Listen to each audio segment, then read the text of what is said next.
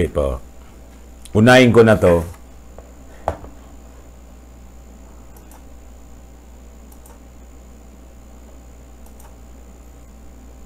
Ah, ito pala. Oh.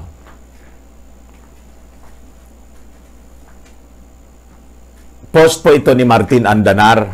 Sabi ni Martin Andanar, 13 hours ago, Saludo talaga ako sa iyo, boss. President Mayor Digong. Panapanahon lang. Kaya, mal ka ng masa. Siyempre, sisip-sip siya kasi boss niya nga po. Sabi ni President Digong, after na siya mag-withdraw, uh, there is always a time for everything. Ang buhay, there is always a time for everything. A time to be great, a time to be small. Hindi man ito actually, pinalitan niya yung Ecclesiastes. Pinalitan niya ng mga wordings po. A time to be small, a time to be a shining star, but a time to fade and just maghanap ka na lang ng kanto na kung saan ka magkakasya.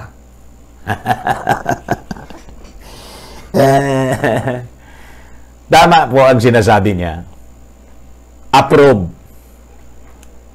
So, ngayon, ang ibig pong nasabihin po ninyo, oh, ito na yung pagkaka, ito na yung panahon kung saan kailangang bumalik na kayo sa dati ninyong uh, sa pinanggalingan po ninyo.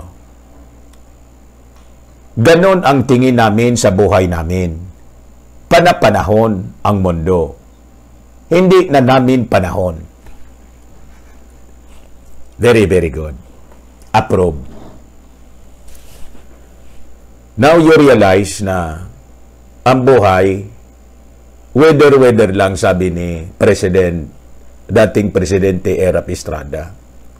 But you know, Mr. President, uh, we are so much aware na nag-try pa rin kayo, nag-attempt kayo to, you know, perpetuate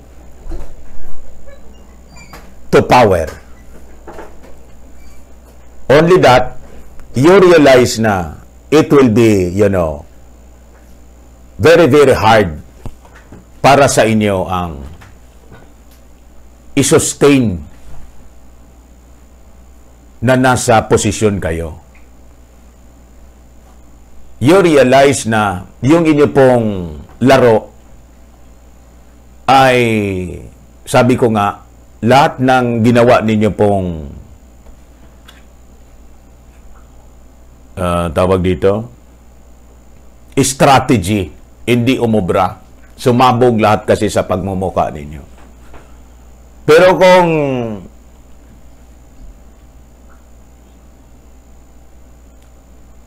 yung inyo pong ano, uh, suksok ng baraha ay nangyari, hindi siguro ninyo ito sasabihin ngayon.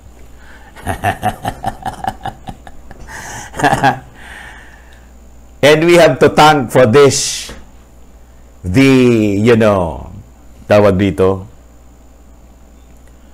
yung uh,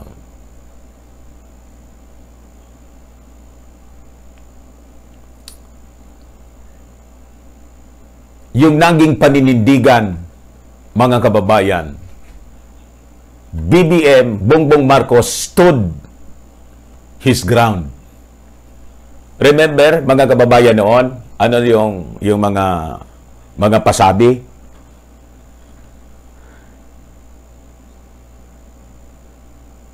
And in fact, nag-react doon si, si Bongbong Marcos. May mga pasabi kasi, may mga pasaring What if, anya, Bongbong Marcos, you, Bongbong Marcos, mag-vice president ka? Hindi man po nila inadmit na ganoon, but uh, I truly believe may mga tao sila na nag-float ng ganong idea. But Bongbong Marcos, nang tanungin, eh ba lumabas yung mga balita? Tinanong siya ng media, ah, Ano po talaga ang ano, ang uh, plano?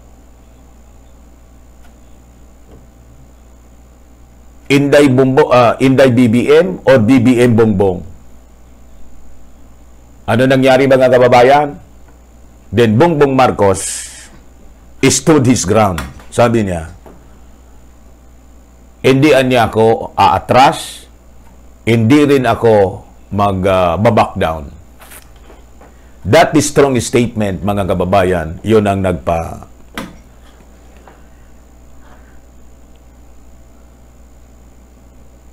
Uh, tawag dito.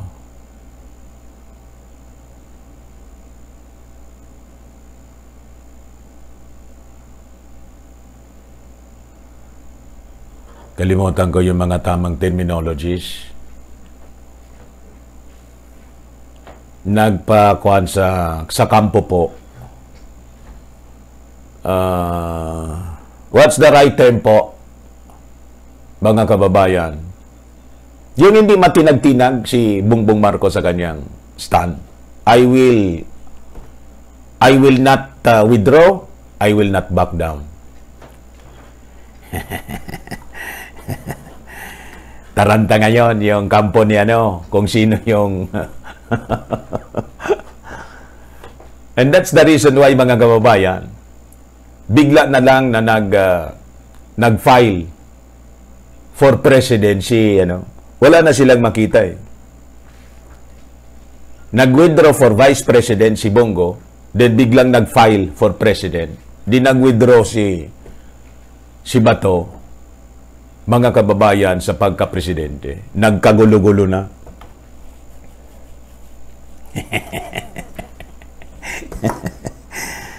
eh, sumabog sa kanilang pamumuka yung mismong laro nila. You see? Oh, ngayon, na-realize ng ating Pangulo, kaya sinabi niya ito, there is always a time for everything. Ang buhay ay may panahon to be great, may panahon to be small.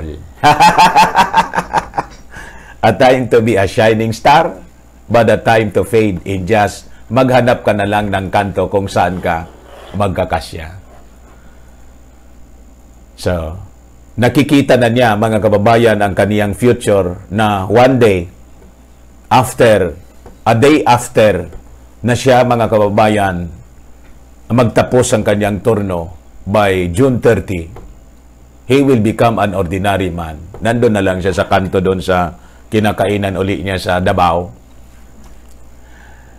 Balik siya sa sa Davao. Pwede man siyang tumakbo uli mga kababayan for mayor. Di ba? Hanggat uh, malakas pa siya, pwede gawin niya yun. Or vice mayor uli, para busy pa rin siya.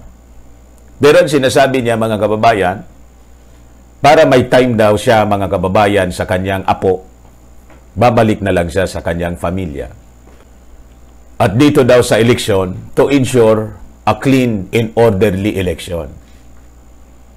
Uh, yun po ang inaasahan namin sa inyo And uh, we feel na doon, maaalala ka ng mga mamamayang Filipino kung uh, you'll see to it na magiging clean, honest, and orderly election at walang walang ano, walang tawag dito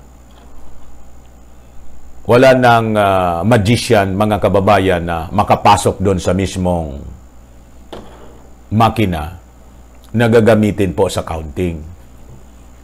Ah. Pag ganun ang ginawa po ninyo, makakabalik siguro yung tiwala sa inyo ng mga uh, Filipino na nawalan ng gana sa inyo po. okay? So, hindi naman kami nagdududa na yung iba nagdududa pa, baka niya may niluluto na naman na masamang plano itong mag-amo. Uh, baka niya yung agenda uh, no election.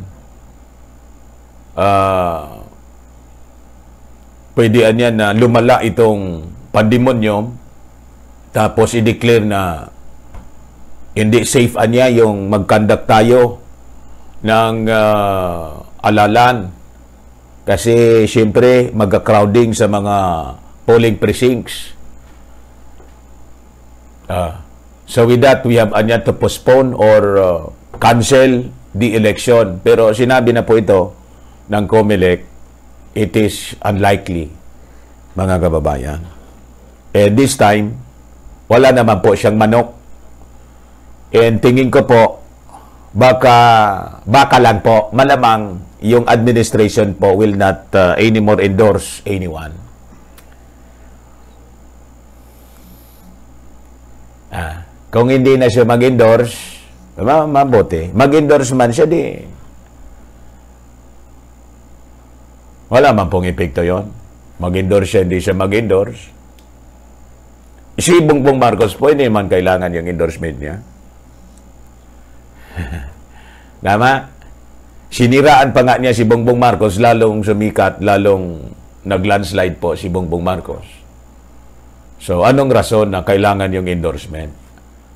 But of course, uh, si Bongbong Marcos as uh, a unity uh, leader uh, would welcome any support from from this administration. Kasi po, kahit inaaway niya si Bongbong Marcos, siya hindi naman po inaaway. Gusto pa ngang i-adapt as senator. Uh, kaya lang umalis na siya po.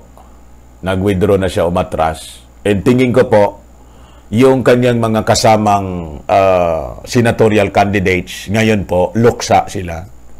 And uh, tingin ko po, baka yung iba, mawalang gana na, mawala na po din ng gana na tumakbo, baka ngayon, bukas or sa makalawa, wala niya eh. Wala na tayong kasama. Lalalangawin tayo niya pag pumunta sa mga probinsya. Unless kung sila, mga kababayan, ay may slots pa. Tatlong slots pa, mga kababayan, yung bakante kay Bongbong Marcos. Yan kung tumalo na rin po sila sa kampo ni Bongbong Marcos. Uh, pag hindi po, tumalo na lang po kayo sa Makati Building.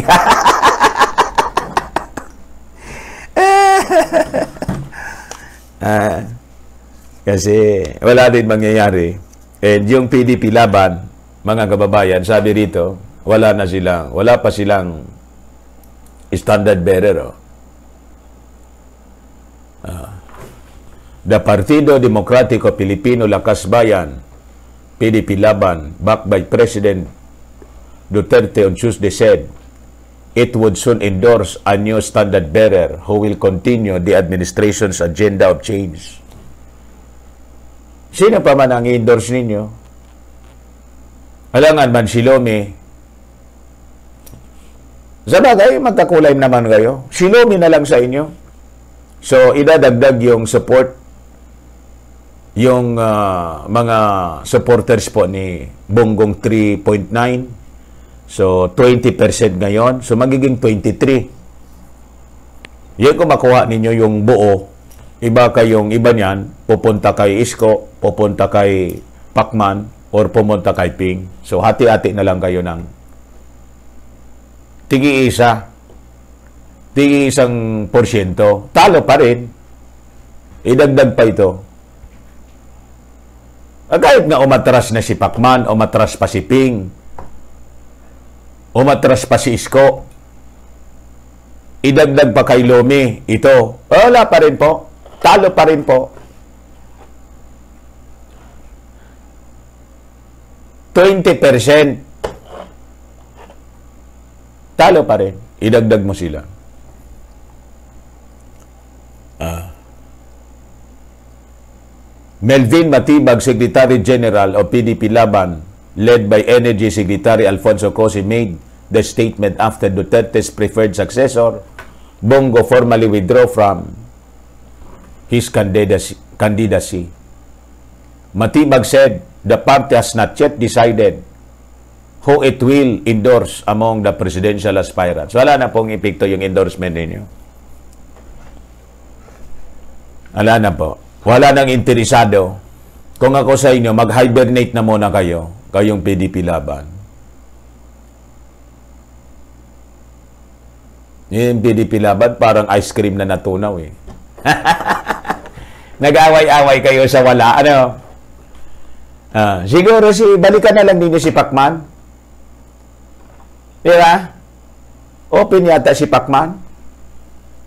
Kaya lang, si Pacman, yung tao, yung crowd ni Pacman po, pumupunta lang kasi may 1,000 pong binibigay si Pacman.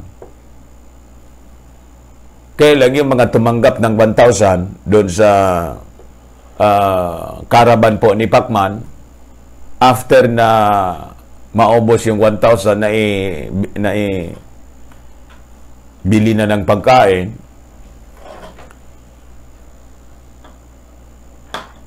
pagdaan mang ano, pagdaan ng caravan ni Bongbong Marcos, BBM pa rin.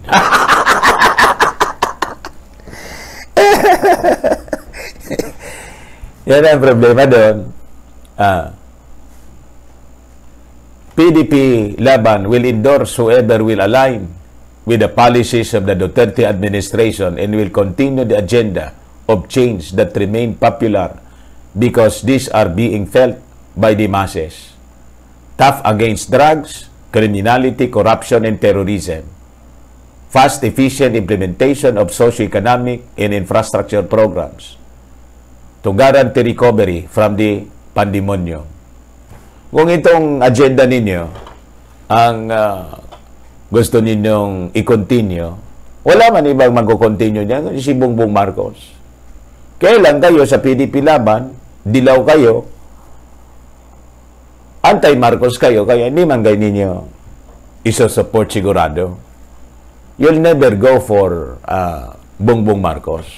Kay Inday, siyempre, kay Inday kayo.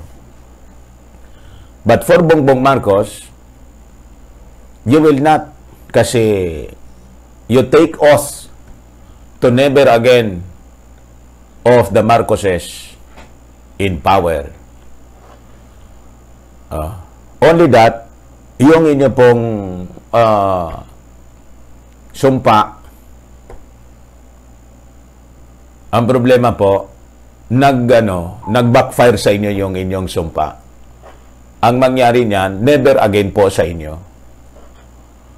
Ah. Tama, mali. Bati nga yung ah, mga kasama ninyong dilawan, yan, dilawan kayo, mutation eh. Pati yung kulay, ah, pinangdirian na ninyo. Kaya naisip namin na yamang nandiri na kayo sa dilaw, i-adapt ko na yung dilaw. Nagsuot na ako ng dilaw. Pero may red siya.